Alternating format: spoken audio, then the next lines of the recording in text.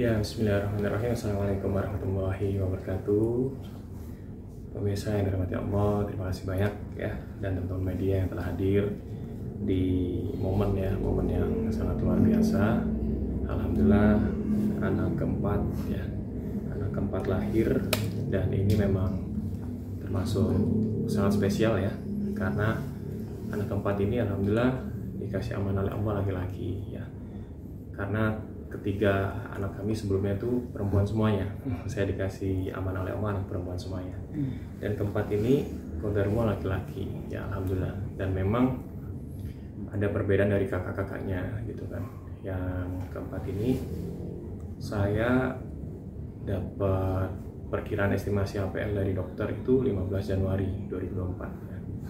dan ternyata saya dapat callingan syuting FTV itu di hari Ahad hari Minggu tanggal 14 Januari. Jadi malam masuk rumah sakit hari Minggu malam ya persiapan untuk SC operasi ya cesar karena itu anjuran dari dokter karena secara medis masih dekat dengan kelahiran anak yang ketiga 2021 ya akhir Oktober. Dan kakaknya ketiga juga cesar akhirnya yang keempat juga cesar jadi pagi itu hari Minggu saya masih syuting FTV ya.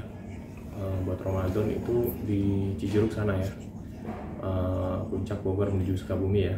Dan selesai ya sore terus malamnya ke rumah sakit. Jam 6 pagi jam 6 pagi tindakan ya. Lahir di jam 6.32 ya pagi. WIB tentunya ya. Dan alhamdulillah di rumah sakit Brawijaya Jakarta Selatan Duren 3 dan uh, yang menjadi hal ya sesuatu yang saya renungkan gitu kan. Karena saya tadinya berpikir hanya dua anak ya. Hmm. yang ketiga itu bonus ya. Kalau ada nambah ketiga perempuan juga. Dan yang keempat ini juga lebih dari bonus ibaratnya gitu ya. Karena jujur gitu ya ibaratnya kita sudah berusaha uh, ibaratnya istri itu udah KB lah ya. Udah berusaha mengontrol kehamilan ya karena saya ngerasa tiga anak udah ini amanah luar biasa butuh konsentrasi untuk membesarkan mereka butuh menjadi pribadi yang baik ya. Dan uh, ternyata ada lagi. Udah KB tapi ternyata uh, positif hamil gitu. Kita kaget waktu itu ya. Jadi pada saat mau menuju Idul Adha itu baru tahu kalau ternyata positif hamil terus mau gimana lagi ya gitu kan kalau rumah akhirnya konsultasi ke dokter ya selamat ini udah baru tahu sekitar tujuh mingguan lah waktu ya. Wah kaget juga gitu ya. Dan saya dan ibunya anak-anak atau istri ya kaget juga nggak siap dua-duanya. Nggak siap dua-duanya uh, sampai menuju perjalanan ya sampai lahir gitu kan ya gitu kan. Jadi sebenarnya kami dalam kondisi nggak siap karena nggak siap nggak pernah membayangkan punya anak empat.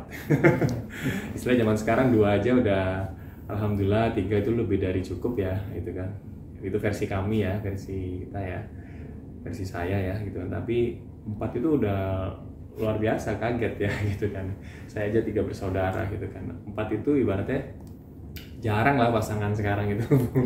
Mau punya anak empat atau merencanakan anak empat itu ya dengan tantangan zaman seperti saat ini ya mendidik dan lain-lain gitu ya. Itu jarang banget nih karena omongan ini bukan hanya dari saya tapi dari dari dokternya ya. Dari dokternya dari dokter Nana gitu kan ya. Ya dan mengatakan ya pasangan sekarang jarang punya anak empat. Ini empat loh gitu kan ya gitu kan. Jadi istilahnya foto sama dokter itu ya tangannya empat gitu kan ya. Jadi aman kan? Iya. Nggak nggak kampanye kan? Iya aman. Mas dokternya juga ngomong gitu empat gitu mas izin untuk bobot sama panjangnya sendiri berapa mas? Ya alhamdulillah kalau bobot sama panjangnya sendiri sih ya uh, termasuk normal seperti kakak-kakaknya ya sekitar tiga ya sekitar tiga kilo. Uh, panjangnya juga sekitar lima uh, puluhan ya gitu ya. Jadi uh, alhamdulillah sih gitu masih di angka normal ya cukup sehat gitu kan. Dan sehat alhamdulillah. Kalau ayahnya atau saya ya jangan dibandingkan. Dulu saya tuh lahir uh, berat 4,6 panjangnya 60 rekor sampai di rumah sakit Bangil Jawa Timur Kabupaten Pasuruan itu sampai sekarang nggak ada yang lain gitu. Gitu kan ya. Jadi uh, belum ada yang ngalahin rekor bapaknya lahir dulu gitu ya karena kebetulan ibu saya waktu mengandung saya sekitar dua bulan itu pergi haji dan di Baitumall ketika keliling membatin anak kecil gitu kan. Ya ternyata pengen ya punya anak seperti itu. Ada anak kecil mengitari Ka'bah bersama abinya ternyata orang Turki gitu kan. Ya. jadi ketika lahir saya ya, termasuk mungkin di bagian dari doa ya ibu juga eh, makan minum minum jus katanya sering apa segala macam ya alhamdulillah. Jadi ya ini termasuk panjang juga gitu kan apa tangan-tangannya apa segala macam ya termasuk ngikutin ayahnya juga kayak Untuk nama sendiri gimana? Ya, untuk nama sendiri ini saya beri nama ya, yaitu Muhammad Jaber El Auf ya. Jadi nama ini adalah nama perkiraan waktu itu kalau punya anak laki-laki. Ya biasanya gitu ya suami istri. Ini waktu itu saya baca kitab Arifatul ya. Itu nemu nama saya gitu kan, yaitu Jaber El. Jaber El itu maknanya penyampai pesan Tuhan. Itu karena profesi saya yang selama ini di dunia entertainment, dunia film itu berdakwah ya. Dakwah meskipun saya juga nggak sempurna banyak dosa banyak salah tapi amanah untuk berdakwah itu ada. Ya kita menyampaikan kebaikan mengajak kebaikan ya. Jadi namanya cocok banget ini dia buat anak gitu kan. Kalau saya punya anak eh, laki-laki yaitu Jaber El penyampai pesan Tuhan. Jadi namanya Muhammad Jaber El Auf Auf itu dari Abdurrahman bin Auf ya. Harapannya yaitu rizkinya nggak pernah habis seperti sahabat Nabi ya Abdurrahman bin Auf itu kan kekayaannya ibaratnya sampai sekarang juga ada gitu kan bisa dibuktikan gitu kan mengalir terus amal jariahnya gitu kan ya. Dan harapannya ya rezeki anak ini yang juga bisa membawa rezeki keluarga dan orang-orang yang sayang. Terhadap anak ini ya orang sekitar juga mudah-mudahan rezekinya nggak pernah habis ya. Rezekinya terus cukup seperti sahabat Nabi Abdurrahman bin Auf. Jadi Muhammad ya dari Nabi Muhammad Jaber El penyampai pesan Tuhan ya. Aufnya itu dari Abdurrahman bin Auf. Gitu mohon doanya. Amin. Mas ini berarti penantian panjang untuk mendapatkan eh, anak laki-laki. iya ini ini pertanyaan unik nih dan menarik ya. Kalau dari saya ya dari dulu ya ketika anak pertama saya tuh memang pengen anak perempuan ya. Karena saya tiga bersaudara laki-laki semuanya itu kan. Yang pertama laki-laki kedua laki-laki ketiga laki-laki ya. Jadi tiga bersaudara laki-laki semuanya. Dan ketika punya anak pertama kali itu perempuan alhamdulillah. Dari dulu pengen punya adik perempuan ternyata saya anak terakhir. Anak yang kedua yaitu perempuan lagi ya alhamdulillah sepasang ya. Maksudnya sepasang itu perempuan-perempuan bermain ketiga bonus ya, bonus. Ternyata perempuan juga. Tiga-tiga bonus. Saya sampai ngomong ke orang-orang kalau ngisi acara ditanya orang anaknya berapa? Tiga cewek semua. Saya bilang cuma gini mungkin Allah tahu gitu kan ya. Tahu bahwa saya tuh saya tuh banyak dosa banyak kehilafan ya. Banyak salah gitu kan. Kan ada hadis Nabi kan bahwa kalau punya anak perempuan lebih dari dua dan bersyukur mendidik dengan agama insya Allah masuk surga dimudahkan gitu ya. Saya berharap istilahnya dapat tiket free passnya atau giveaway-nya itu dari punya anak tiga perempuan semuanya gitu kan. Ya udah alhamdulillah takdirnya seperti itu. Dan keempat ya orang-orang biasanya biasanya pasti ngomong gitu ya udah punya anak perempuan mudah-mudahan laki-laki berikutnya udah punya anak laki-laki mudah-mudahan perempuan kan gitu semuanya tapi kalau saya laki-laki atau perempuan ya yang penting sehat selamat itu sih harapannya ya. Dan ini laki-laki pun ya dari awal ketika tahu punya anak lagi saya bilang kalau ditakdir ini laki-laki berarti ada kesan dari Allah dari Tuhan ya. Berarti ada tujuan. Ternyata laki-laki. Makanya relate ya nyambung nama anaknya yaitu Jabrel ya Jabrel Auf ya. Jadi penyampai pesan Tuhan ya, ya mudah-mudahan pesannya tentang rizki mudah-mudahan kita semuanya ya. Rizki yang nggak bisa habis ya seperti sahabat Nabi Abdurrahman bin Auf gitu ya. Jadi itulah ya anak eh, dapat laki-laki gitu ya. Tapi memang buat saya alhamdulillah tapi bukan sesuatu yang harus dikejar. Harus anak laki-laki kalau nggak gitu nggak selesai hamil atau mengandung atau punya anak harapan laki-laki. Tidak gitu kan ya. Jadi tidak ada target untuk punya anak laki-laki. Ini bonus alhamdulillah dikasih laki-laki ya gitu sih. Ada rencana nanti ke depannya nambah gitu mas? kalau untuk nambah udah eh, empat aja ini lebih dari cukup. Ya berusaha saya didik kami didik kita didik dengan baik gitu ya. Dan eh, harapannya yaitu jadi orang tua yang amanah ya gitu kan amanah gitu kan. Dan tentang anak ini laki-laki sebenarnya dari detak jantung pertama ketika masih berupa janin ya tujuh mingguan itu USG baru terlalu ternyata tujuh mingguan itu sebenarnya saya sudah memprediksi ini laki-laki gitu kan. tahu dari mana? Saya sampaikan ke dokter gitu kan. Pas USG udah baru bisa dilihat uh, kelaminnya usia sekian bulan ya saya bilang saya dari awal nebak laki-laki dok gitu kan. Dok tahu dari mana? Pak katanya. Saya bilang gini saya tiga anak cewek semuanya jadi hafal. Pertama detak jantung itu anak ini ya anak keempat ini laki-laki itu detak jantungnya itu nggak kayak kakak-kakaknya kakak-kakaknya itu cewek-cewek itu detak jantungnya itu kenceng banget. Dua dua dua dua sampai speaker USG itu kayak kayak over volume lah gitu kan ya. Dua dua dua dua dua. Kencang banget gitu kan. Tapi ini enggak heran saya karena anak ketiga anak ketiga waktu itu saya kira laki-laki karena detak jantung kencang banget. Gitu kan. Laki-laki nih kayaknya gini gini. Ternyata perempuan. Nah yang ini nggak sekencang kakak-kakaknya detak jantungnya. Jadi saya menyimpulkan ini beda nih sama kakak-kakaknya. Ini kayaknya uh, laki-laki itu. Itu poin poin pertama. Poin yang kedua anak pertama sama kedua ya kakaknya usia 7 tahun dan 6 tahun. Ketika tahu ibunya hamil ngomong gitu adik cowok adik cowok. Ya mereka kan sama-sama anak kecil ya. Kan "Ini adik cowok adik cowok adik cowok aja adik cowok gitu.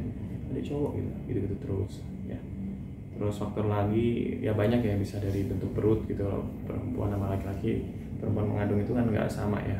Misalnya monyongnya gitu kan. Kalau laki-laki lebih ke bawah ya monyong perutnya. Kalau uh, perempuan agak ke atasnya gitu-gitu lah ada lah gitu kan secara fisiologis ya. Terus berikutnya saya lihat juga eh, beda kedekatan batinnya ketika di dalam kandungan. Kalau anak perempuan kan lebih ke ayahnya ya saya tuh bisa ngerasain anak pertama kedua ketiga tuh perempuan kan soalnya. Laki jadi kedekatan batinnya tuh lebih ke ayahnya. Kalau ini mungkin ke ibunya gitu ya dari istilahnya istilahnya cross lah gitu. Kemungkinan sih saya ngerasa sih seperti itu ya. Jadi itu juga yang saya saya rasakan ya kalau anak laki anak laki-laki lebih ke eh, perempuan ya kedekatnya. Kalau anak perempuan lebih ke laki-laki atau ayahnya itu sih. Dan perempuan itu jadanya berapa, Berapa tahun? sih. Ya anak pertama lahir 2016 anak kedua 2017 memang terencana ya.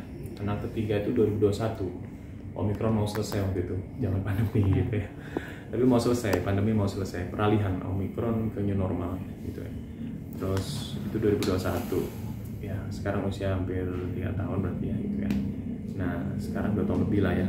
Nah ini 2024 ya gitu kan jadi 2021 ke 2024 ya tiga tahunan ya gitu kan jadi eh, empat eh, anak ya termasuk nekat lah zaman sekarang. Itu sih. Asi? Eksklusif Untuk atau gimana mas? Ya kalau tentang asi ibunya itu kan masih berusaha eksklusif ya masih berusaha masih berusaha. Sampai hari ini hari kedua di rumah sakit juga nggak ada istilahnya susu formula atau susu bantuan ya. Yang ada hanya asi gitu kan ya. Yang mohon doanya mudah-mudahan eh, lancar gitu ya sehat dan nggak sampai menguning ya. Biasanya kan bayi kalau kurang asi itu kan kuning akhirnya pada balik ke rumah sakit harus dirawat itu kan ya. Di ICU ya gitu kan. Selama misalnya dua hari atau tiga hari kalau misalnya kuning ya gitu. mudah-mudahan ini enggak sih mudah-mudahan.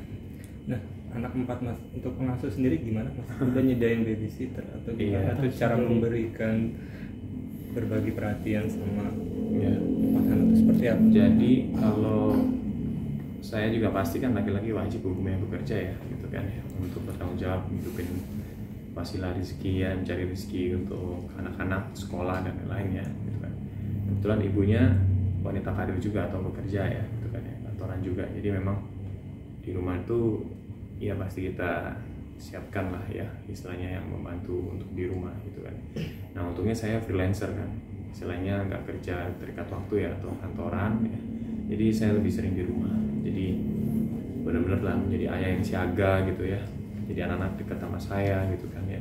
Handle anak-anak kalau nggak ada kerjaan ya di rumah handle anak-anak gitu kan. Dan pasti ya butuh ya butuh asisten ya yang bantu di rumah itu pasti ya. Ada sih gitu kan udah kami siapkan ya asisten perempuan bahkan ada asisten yang bantu-bantu rumah eh, atau asisten pribadi saya ya laki-laki itu ada gitu ya. Jadi memang anak keempat ini ya mudah-mudahan bawa rezeki sendiri gitu ya. Karena emang secara kebutuhan jauh lebih besar ya anak pertama kedua ketiga keempat itu kan. Dan ada ajaibnya juga sih kan ya. Maksudnya ketika kita bicara operasi ya cesar gitu kan. Saya jujur dari awal tipe orang yang eh, berusaha normal gitu ya dari anak pertama.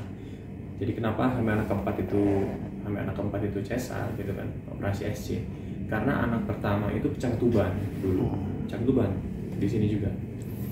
Saya berusaha nunggu normal besok gimana dok bisa nggak gitu kan? Wah pak kita nggak tanggung jawab harus tanda tangan dulu.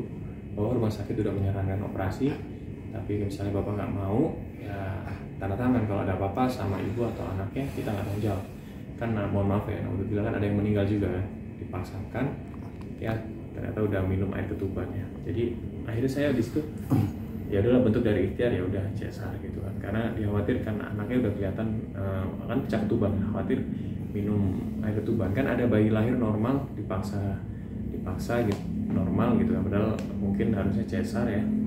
Tapi eh, telat mengambil putusannya gitu kan. Akhirnya berusaha normal dipaksakan lahir normal gitu kan. Anaknya masih kelihatan ya tapi ternyata meninggal minum air ketuban. Kan ada teman yang mengalami itu gitu kan. Jadi kejadian ini eh, tidak boleh disepelekan gitu kan. kita berusaha normal tapi kalau saja dari dokter yang menangani mengatakan ini kayak nggak mungkin normal cesar ya cesar gitu ya. Nah cesar anak pertama. Anak kedua juga gitu karena dekat. Dekat jaraknya harus cesar kata dokter. Anak ketiga anak kedua waktu itu ya ada ujian gitu kan. ya akhirnya menyebabkan kelahiran yang selanjutnya harus cesar nah ini juga harus cesar karena dekat masih dekat dengan uh, kelahiran kakaknya yang ketiga ya 2021 jadi dan jujur saya tipe orang kalau cesar ya berusaha tidak menentukan tanggal. Harusnya nunggu tanggal cantik lah apa gitu. Kenapa tuh? saya nggak berani jujur dari dulu. Karena saya berpikir menentukan tanggal lahirnya seorang manusia di muka bumi gitu ya tapi masa dari manusia itu sendiri ya gitu meskipun kita orang tuanya. Saya pengen anak saya lahir segini. Saya ini masing-masing ya saya tipe nggak berani mendahului takdir. Jadi anak pertama itu ditanya dokter tanggal berapa mau kalau kalau misalnya kemungkinan cesar nih atau normal? Saya bilang kayak normal aja. Nunggu mulus-mulus apa segala macam kita lihat bisa normal atau enggak. Kalau mau cesar lihat nanti. Jadi nggak pernah saya menentukan tanggal. Anak pertama tidak pernah menentukan, menentukan tanggal anak kedua juga gitu. Nunggu mulus-mulus bahkan ibaratnya kata istri ya kata ibunya anak-anak seperti kepalanya udah masuk ke panggul udah kayak normal tapi kan harus cesar ya. Terus yang ketiga juga gitu ya. Wah soalnya istilahnya pecah ketuban baru ke rumah sakit ya. Terus prosesi eh, operasi cesar besoknya ya. Jadi nggak pernah saya menentukan tanggal sekian sekiannya ini pun juga sama tanggal 15 itu dari dokternya APL ya kemungkinan kan tanggal APL tanggal 1 mundur tanggal mundur sekitar dua minggu sampai tiga minggu. Kemungkinan range adalah ya tanggal 10 sampai 15 ternyata betul ya. Itu tanggal 15 kemarin itu karena ternyata sempat istilahnya udah istilahnya udah istilahnya udah ada pendarahan gitu ya udah ada pembukaan kata dokter gitu kan. Tapi emang prosesnya harus harus cesar karena banyak pertimbangan medis. Ya akhirnya cesar gitu ya. Jadi memang eh istilahnya saya berserah diri tentang tanggal ya ketika setiap anak ya setiap anak saya itu tidak pernah menentukan tanggal gitu. Kondisi istri gimana? ya kondisi punya anak atau istri saat ini masih recovery total ya gitu kan. Karena udah empat kali cesar kan gitu kan. Agak-agak sama katanya. Dan menghadapi operasi yang keempat itu ya takut banget katanya. Stres banget gitu ya gitu kan. Jadi memang ini berusaha istirahat total gitu kan. Eh, izin ya mohon maaf belum bisa ikut diwawancarai gitu kan. Karena memang recovery-nya butuh eh, waktu gitu kan. Butuh serius. Masih kondisinya eh, up and down ya gitu kan. Tadi pagi agak enakan terus yang tadi menuju sore drop lagi gitu kan. Karena memang kata dokter kan observasinya satu kali 24 jam dilihat seperti apa gitu kan. Besok benar-benar bisa pulang gitu ya. Dan, tapi memang kondisinya masih dalam fase observasi sekarang